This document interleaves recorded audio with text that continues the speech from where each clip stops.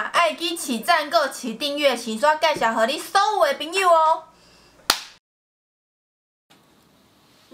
大家好，我是你们的专业的外送水芊芊。身为一个各大外送平台通通都有会员，每天至少会在外送平台至少点一次的人，不知道大家开启外送平台的时候有没有好奇，究竟价格很贵的餐点跟平价餐点，怎么有种就是要推荐的感觉？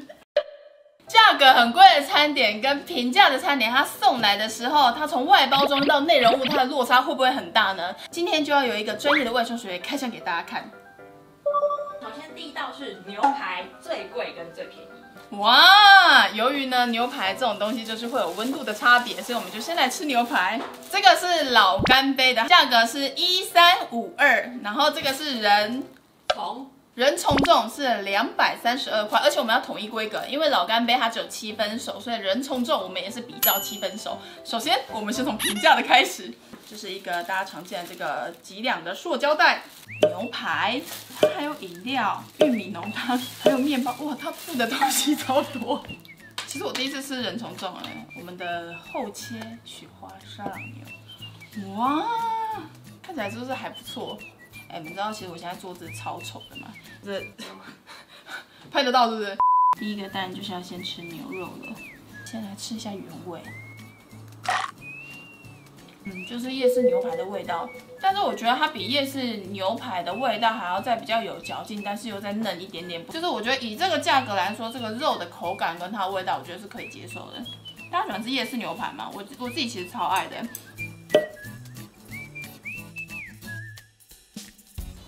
实我现在有点害羞，通常在拍的时候，我的镜头前面就只会有镜头。今天这么多人这样子看着我，我真是突然又有一种在外部拍摄的感觉。好，让我离开。啊，不要这样子。哎，他这个还有放蔬菜耶。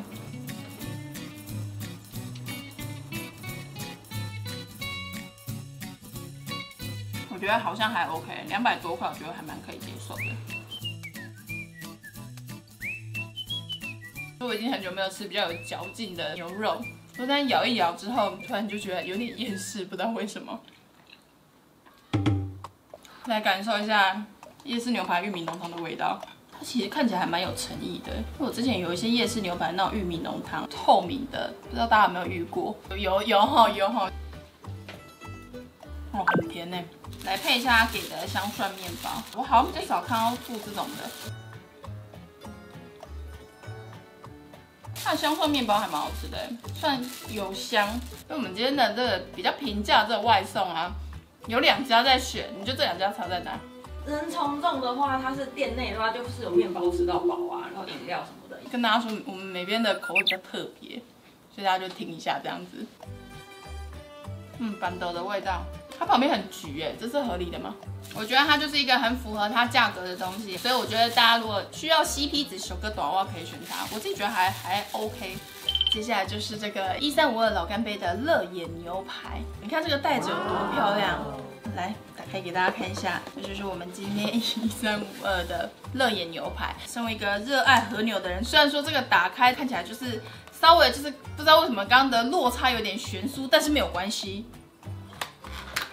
哇哦，这是我觉得一三五二的那种包装，是不是用那种木盒还是什么之类，看起来会比较厉害。七分熟的热盐牛的卡恰片，嗯。就是要这个口感，好了，我觉得可以接受啦。外送的牛肉是不是很担心它会很干？但因为它是和牛，所以它吃起来就咬下去还是会有不揪的感觉。你要不要试试看？我跟你说，真的有差啦。嗯，是不是？肉味很很够，因为刚刚人从这，我们先冷静一下哦。它两个价位是？怎么连冷掉都都都这么香嘞？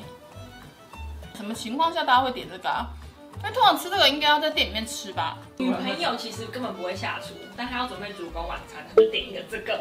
好像有点道理，又觉得好像哪里怪怪的。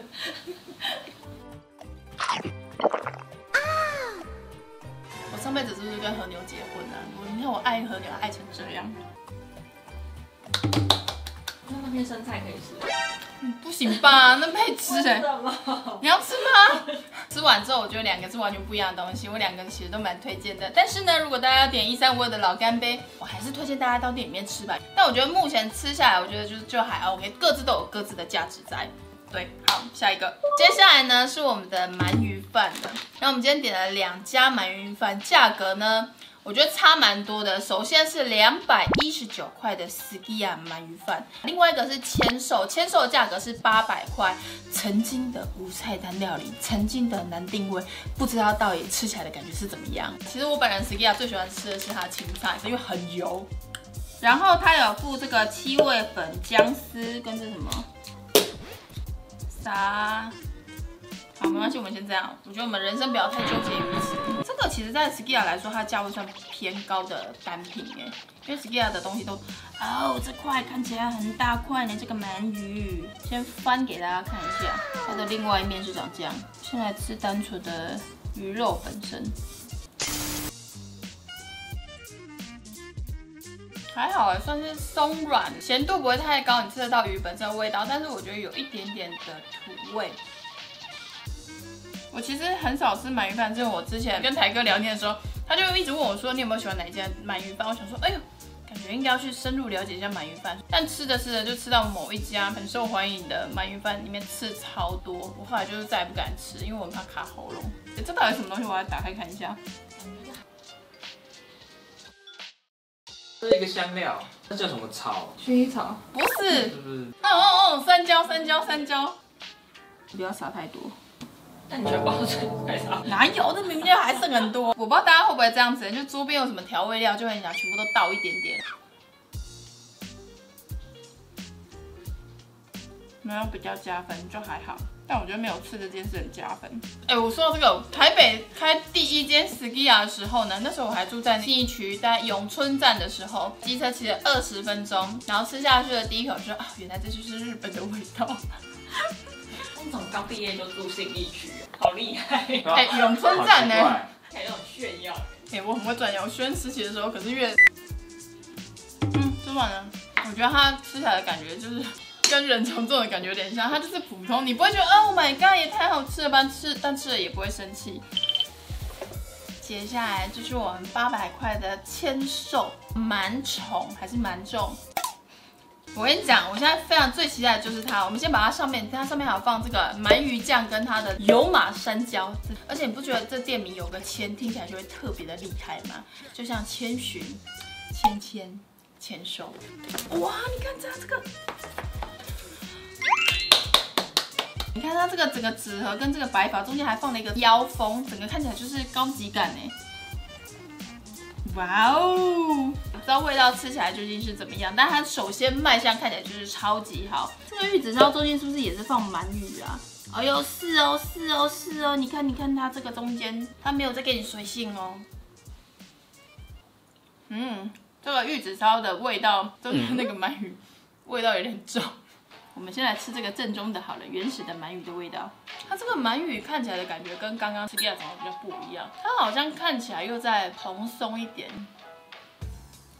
嗯，它还是有一点点土味，它的边边冷掉之后咬起来就有点不挡，但是还是感觉到那个微微酥酥的口感。它比较吃得出来鱼肉本身的味道，我觉得这样吃起来还 OK。它算是甜咸味没有很明显的那一种，我觉得它是想要强调那个鳗鱼本身的味道。哎、而且它米饭真的比较好吃，它的咬起来的口感没有湿掉的那种感觉，所以我觉得还蛮加分的。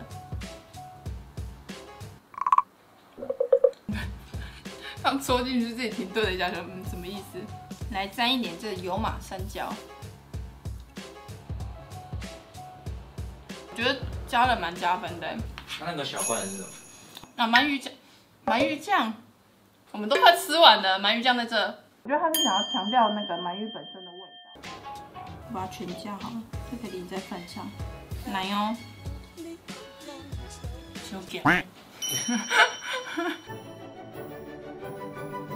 如果是你们，你们会愿意多花一些钱买买八百块的吗？我可能有二一休的。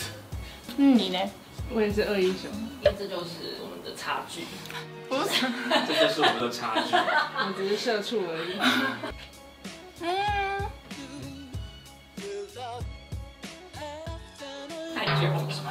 我要让我咬，就可以快转，你们不要这样子。真的不会剪啊？什么意思？但我刚刚吃到一块，它可能没有沾到那个任何的酱汁，它就这样放着，超级酥的，又酥又香。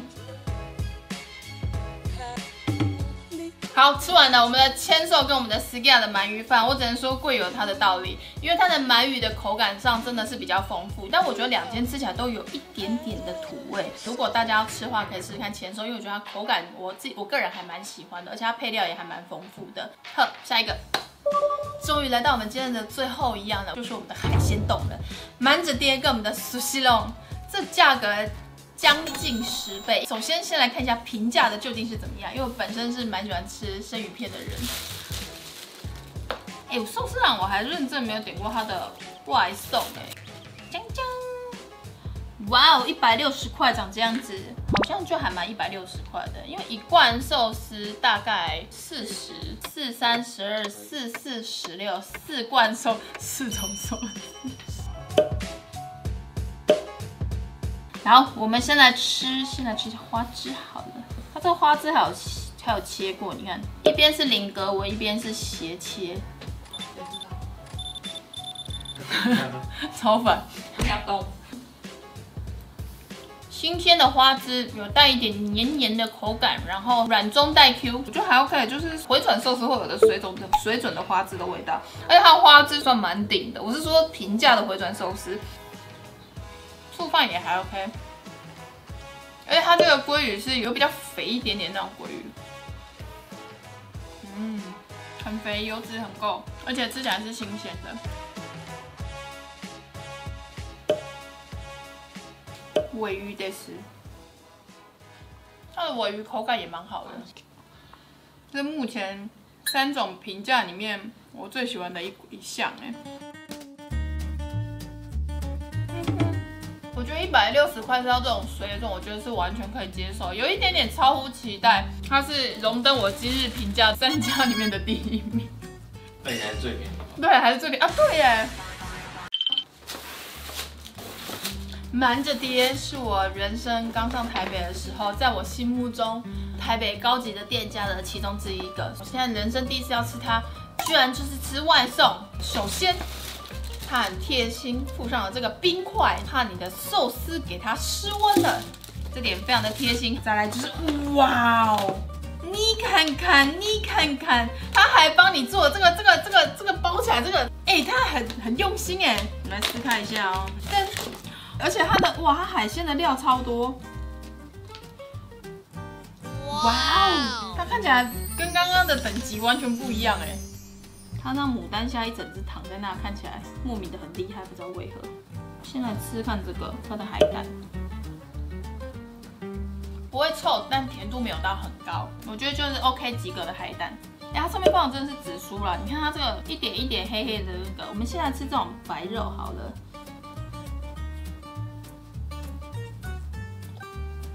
它的口感是嫩的，然后有那种鱼的很淡的那种清甜的味道，但是醋饭我比较喜欢寿司郎。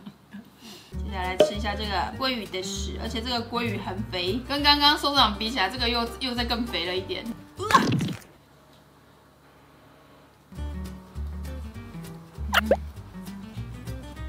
油脂非常的多，口感非常的嫩，甜度也比刚刚高非常多，而且你整个口腔都是那个鲑鱼的环绕住的那种感觉，而且它有加那个紫苏的味道，所以你吃起来比较没有那么的腻口。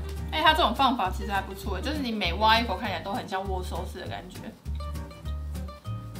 嗯，哎，吃一吃会想要去店里面吃看呢。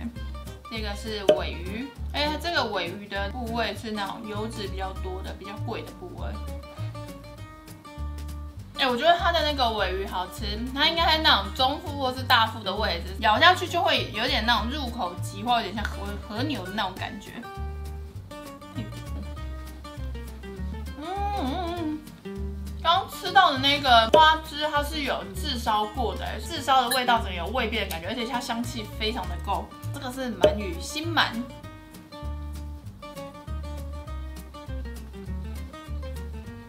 它那个香气比前面的好哦，嘴巴充斥着那种碳碳的感觉，我就很喜欢。我刚刚讲说蟹膏下面是虾子，结果它是螃蟹呢，好高级外头影像。它那个蟹膏味道超浓，它竟然还有留一根那个哎，留一根这个怎么了？很有 feel。对，没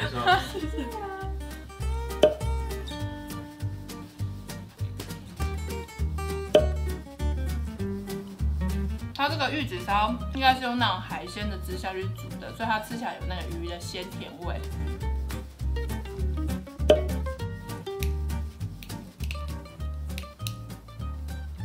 嗯，甜度还蛮高的。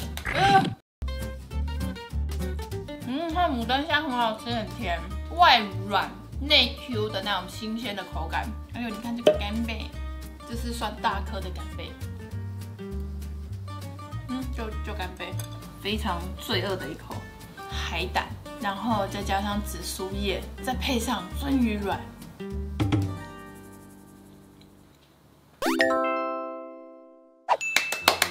吃完了今天的外送同品项最贵的跟最便宜的，我觉得全部吃下来，老实说，我觉得某一些其实贵有贵的它的价值在，因为就像那个牛排的部分，人从众它。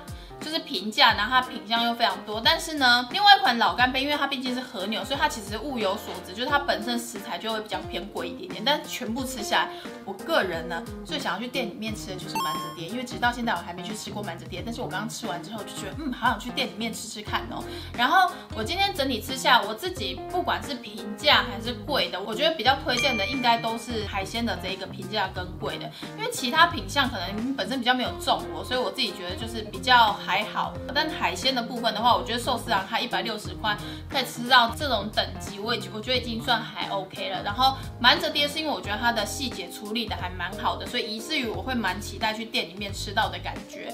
哎，大家可以留言一下你们在外送平台点过最贵的东西是什么，可以分享给我，因为我其实也蛮好奇大家为什么会点它，跟你在什么样的情况下会点它，还是你只是单纯你是 rich people，所以你觉得哦一三八零没有什么，我就是个点来当个午餐的便当还好。的，然后希望大家会喜欢今天的影片。那今天影片就到这，我们就先这样子了，各位拜拜。要记得点赞哦，知不知道？为什么油马山椒闻起来很像乌梅的味道？嗯，像什么娇羞的声音？哎，这个可以卖去给，这很像在 B 友聚会出现的。